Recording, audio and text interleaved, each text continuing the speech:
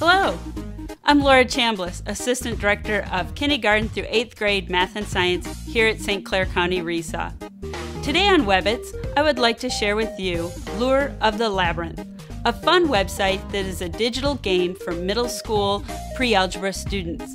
It includes a wealth of intriguing math based puzzles wrapped into an exciting narrative game in which your student works to find their lost pet and save the world from monsters. This game is linked to both Common Core and national NCTM standards and gives students a chance to think like an actual mathematician.